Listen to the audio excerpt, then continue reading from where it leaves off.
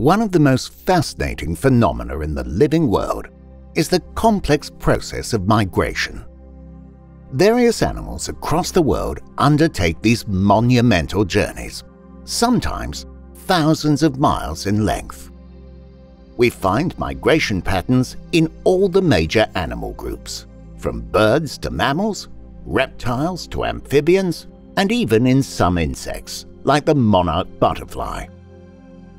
The oceans of this beautiful planet Earth are interconnected, making it possible for marine animals to travel vast distances to complete their own migrations.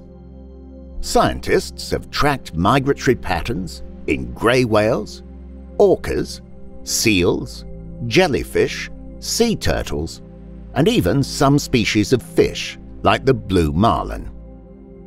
The intricate process of migration is still a mystery in many ways.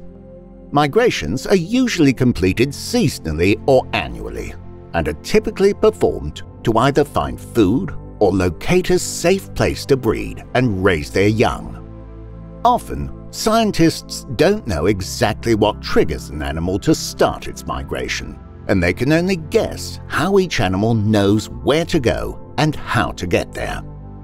Migratory patterns might even appear random at first glance, but on closer examination, a clear purpose and design can be seen, guided by the hand of God. For example, after a migration of over 10,000 miles, the female leatherback turtle will actually return to the very beach where she was hatched to lay her own eggs.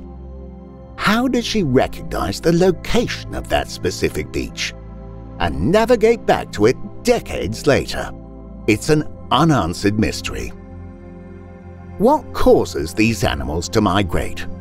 Is it changes in sunlight, temperature, or food supply that trigger these trips?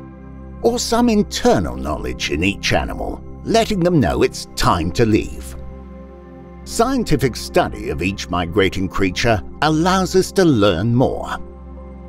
Let's go along for the ride with the mighty grey whale on its annual migration. The grey whale is a type of baleen whale that reaches lengths of up to 15 meters or 49 feet and weighs up to 41 tons or 90,000 pounds. Grey whales typically live between 50 and 70 years, and they get their name from the grey patches on their skin.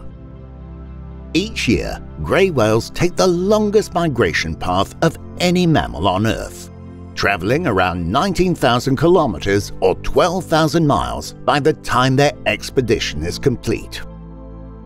Most grey whales birth their calves in January in the warm sea waters of the Pacific Ocean near Mexico. Then, come springtime, the whales begin their epic journey, traveling northward together in groups called pods. They can travel up to 160 kilometers or 100 miles a day on their way to their summer feeding grounds. Their destination? the cold Arctic waters off the coast of Alaska. This area is rich with the grey whale's main source of food, small shrimp-like crustaceans.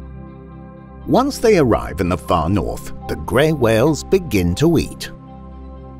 Throughout the summer, the whales must eat constantly, taking in well over one ton of tiny crustaceans and plankton each day. The plentiful food helps them prepare for the fall when they make their return journey, another 10,000 kilometers or 6,000 mile trek back south to the warmer waters from which they came. The weight they gain also helps during their journey and throughout the breeding season when they will eat very little and live off the fat stores developed during these summer months. It's not uncommon for a grey whale to lose 25 to 30% of its body weight during its journey south. So, why don't the grey whales just stay in the north, where the food is so plentiful? Why migrate south at all?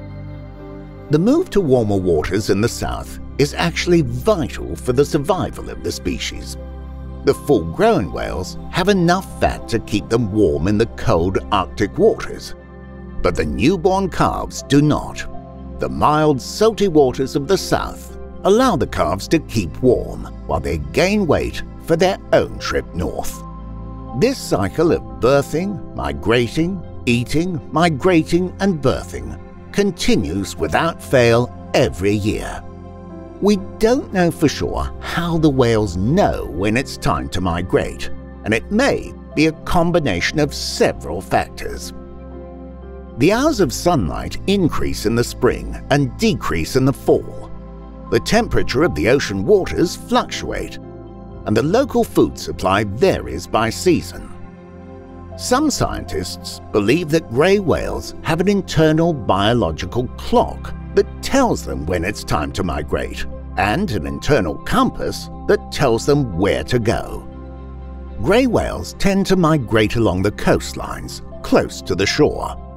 Staying near the coast may also help them navigate during their months-long trek. Because of this near-shore migration, often within 2 to 3 kilometers or 1 or 2 miles of the coastline, scientists and spectators can easily observe this annual voyage. Off the west coast of the United States and Canada, tourists and residents alike look forward to the time each year when the whales pass by, reliable as the changing of seasons. Scientists study the routes and patterns of migrating animals to better understand the forces that prompt these journeys. As you can see, there is still much for us to learn about animal migrations. These mysterious voyages continue year after year on land, in air, and beneath the ocean waves. This fascinating topic will inspire us for years to come.